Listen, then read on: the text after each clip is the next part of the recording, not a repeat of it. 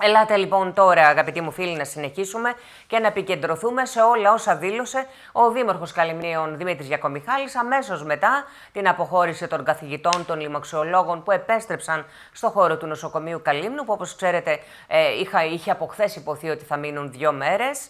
Και Ξεκίνησε αναλυτικά ο Δήμαρχος να μας μιλάει για όλα όσα έγιναν, όλα όσα ζητήθηκαν από το Κλιμάκιο και τον Νίκο Χαρδαλιά, όλα όσα αναμένουμε. Αναμένουμε έξι αστυνομικούς, αναμένουμε νέο ασθενοφόρο, μικρό, έτσι ευέλικτο για να μπορεί να βρεθεί σε πολλαπλά σημεία και όλα τα υπόλοιπα ήταν γύρω από το τι υπόθηκε και τι περιμένουμε. Βεβαίως θα ανοίξουν τα σχολεία, βεβαίως θα ανοίξει το λιανεμπόριο, βεβαίως θα μπούμε στο, επίπεδο, στο επίπεδο της υπόλοιπης Ελλάδας από τη Δευτέρα, αγαπητοί μου φίλοι, με το καλό. Αλλά το θέμα είναι ότι οι ισορροπίες είναι εύκολο να χαθούν. Και αν χαθούν, θα ακούσετε ότι τώρα πια το σύστημα είναι έτσι, αμέσως γίνεσαι κόκκινος και ξαναπάς σε καθολικό lockdown. Λοιπόν, δεν θέλουμε να δούμε τέτοια φαινόμενα, πόσο μάλλον όταν τα δημοσιεύματα μας λένε ότι με δειλά βήματα έχει αρχίσει πια να ζεσταίνεται σιγά σιγά η τουριστική μας αγορά την ώρα που εντός και εκτός των ελληνικών ε, τυχών προσπαθεί να υπάρξει και να καλλιεργηθεί ένα κλίμα ε, υπεραισιοδοξίας και ευχόμαστε από καρδιάς και οι κρατήσεις της τελευταίας στιγμής αλλά και η πορεία της καλοκαιρινής περίοδου να υπάρχει, να έχει μια ήρεμη, ισόρροπη ε, κατάσταση και πορεία ώστε όλοι να χαρούμε το δικό μας ελληνικό καλοκαίρι. Πάμε στο σημείο λοιπόν αυτό να ακούσουμε το πρώτο μέρος από τη συνέντευξη που παραχώρησε στους εκπροσώπους των ΜΜΕ ο Δήμαρχος Καλυμνίων Δημήτρης Γιακομιχάλης. Θέλω να σας ευχαριστήσω που βρίσκεστε όλοι εδώ για μια συνέντευξη που έχει ένα ξεχωριστό γνώρισμα.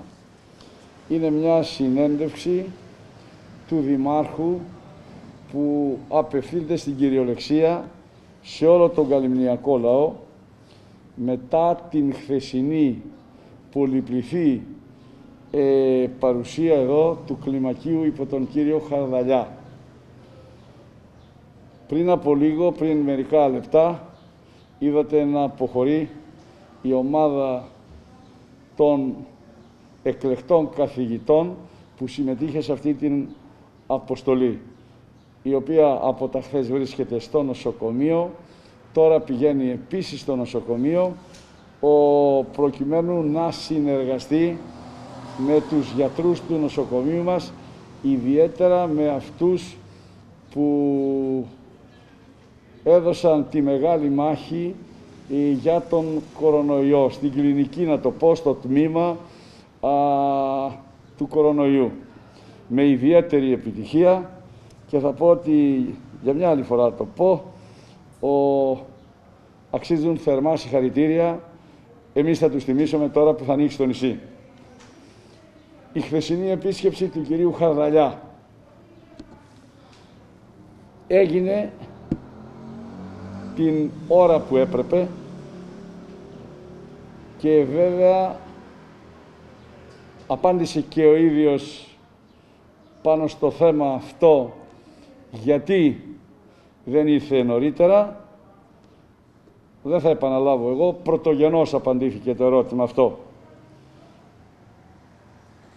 Το χαρμόσυνο, η χαρμόσυνη είδηση που όλοι περιμέναμε με τόση αγωνία είναι τι θα γίνει από την Δευτέρα το πρωί. Ε, όπως είπε ο ίδιος ο Υπουργός, ο αρμόδιος Υπουργός Πολιτικής Προστασίας είπε ότι με βάση τα δεδομένα όπως ήταν χθες και τα οποία συνεχίζονται θα έλεγα με μεγαλύτερη ένταση πτωτικά και από τα χθεσινά, από τη, από τη χθεσινή ιχνηλάτηση που έγινε, ε, αν δεν συμβεί κάτι ανατρεπτικό το επόμενο το 48ωρο, η Κάλυμνος από τη Δευτέρα το πρωί θα μπει στην κανονικότητα. Αυτό, αυτή είναι η μεγάλη είδηση που νομίζω ότι πρέπει να μας βρει όλους έτοιμους να διαφυλάξουμε αυτή την κανονικότητα. Ακούσατε τον Υπουργό να λέει ότι ναι, θα γυρίσει και η Κάλυμνο στην κανονικότητα, αλλά και για την Κάλυμνο θα ισχύσει αυτό που θα ισχύει πλέον, που ισχύει ήδη για όλη τη χώρα.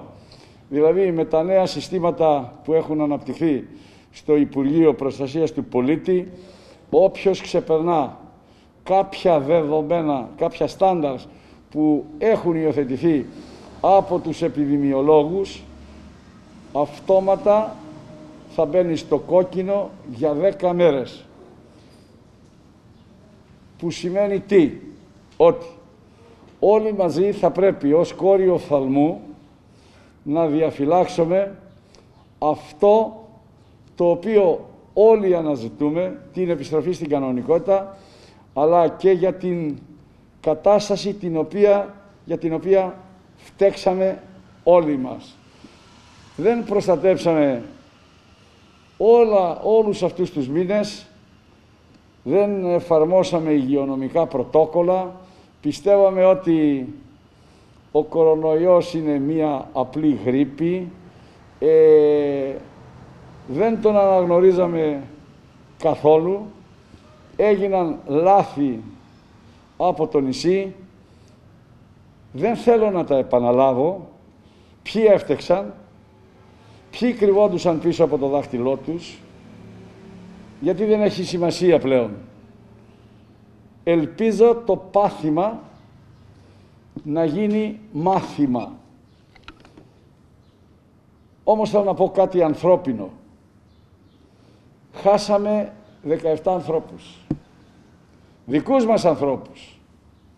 Αυτή την ώρα είναι σε διάφορες μονάδες εντατικής θεραπείας 10 άτομα. Μόνο στη Σάμο έχουμε 5. Χθες 12.30 ώρα μιλούσα με τον διοικητή ζητώντας πληροφορία, πληροφορίες για την κατάστασή τους. Έχουμε στην Αθήνα, έχουμε στα Χανιά. Χθες πήγανε στη Ρόδο, δεν βρίσκονται αυτοί σε μονάδα εντατικής θεραπείας, αλλά φύγανε και πήγαν στη Ρόδο. Γιατί δεν είναι κρίμα επειδή κάποιος έχει την δική του προσέγγιση να κολλήσει σε μένα, στον κύριο Μακαρούνα και να μας στείλει στο νοσοκομείο ή στο θάνατο. Γιατί, από πού ανελεί αυτό το δικαίωμα, όποιος και αν είναι αυτός. Είναι πραγματικά θλιβερό αυτό το οποίο έγινε στο νησί. Γιατί επειδή κάποιος μπορεί να πιστεύει ότι έχει ένα μπαρ, παράδειγμα, και ανεξέλεκτα εκεί μπορεί να συνοστίζονται κάποιοι με αποτέλεσμα τα θετικά κρούσματα στο νησί να εκτοξευθούν στον ουρανό ή ποιος ιερωμένος αντλεί αυτό το δικαίωμα. Όχι από το Άγιο Πνεύμα, κανένας δεν το αντλεί. Ο πυρήνας της θρησκείας μας είναι η αγάπη στον άνθρωπο. Και αυτό δεν το δείξαμε στην πράξη. Τα λέω αυτά γιατί έχω το δικαίωμα να τα λέω, τα κατήγγυλα σε ανύποπτο χρόνο, τώρα όμως τα επαναλαμβάνω γιατί δεν πρέπει να τα επαναλάβουμε. Γιατί ο Πέλεκης από εδώ και πέρα θα είναι σκληρός, θα είναι καταστροφικός για όλο το νησί. Εγώ λοιπόν κάνω έκκληση σε όλους τους καλύμνιους, σε όλες τις καλυμνιές, να απομονώσουν τους όποιους έχουν διαφορετική άποψη. Δεν χρησιμοποιώ πιο σκληρό επίθετο. Δεν χρησιμοποιώ. Να τους απομονώσουν. Το διαδίκτυο δεν είναι πάντα ο καλύτερος σύμβουλος. Γιατί αυτή την ώρα το νησί πρέπει να πορευθεί καθαρό. Δεν έχουν δικαίωμα κάποιοι κύριοι να δημιουργήσουν προβλήματα και να πεινάσει η καλύμνικη κοινωνία. Οι επιχειρήσεις πείνασε, πείνασε, πείνασαν. Πεινάει κόσμος. Γιατί, γιατί κάποιοι θέλουν να το παίζουν πονηροί, ας το παίζουν μέσα στο σπίτι τους κλεισμένοι για να υποστούν και τις συνέπειες. Δεν πάει άλλο παιδιά. Τα λέω έτσι καθαρά γιατί. μετά την σύσκεψη, και ακούστε τον κύριο Χαρδαλιά, η αστυνόμευση θα ενταθεί στο μέγιστο δυνατό βαθμό. Δεν θα σκεφτεί η πολιτεία πλέον να κλείσει είτε μαγαζί το οποίο δεν πληρεί τα πρωτόκολλα, είτε σούπερ μάρκετ, γιατί πέρα από αυτά που είπε ο υπουργός, υπόθηκαν και κάποια άλλα τα οποία δεν κατεγράφησαν. Ότι η πολιτεία θα είναι αμήλικτη. Δεν μπορεί κάποιοι λίγοι, είτε για να κερδοσκοπούν, είτε επειδή έχουν την προσέγγιση αυτή, να οδηγήσουν το νησί στο γκρεμό. Είναι καθαρό αυτό, είναι ένα μήνυμα το οποίο δεν μπορεί να μπει σε αμφισβήτηση. Η Δευτέρα θα είναι μια καθαρή Δευτέρα, αλλά επαναλαμβάνω να γνωρίζουν όλοι ότι κανένας πλέον δεν είναι διατεθειμένος να ανεχθεί κανέναν. Το νησί, τουρισμός, οι επιχειρήσεις, ε, η ζωή στην Κάλινο πρέπει να επανέλθει στα παλιά της χαρακτηριστικά.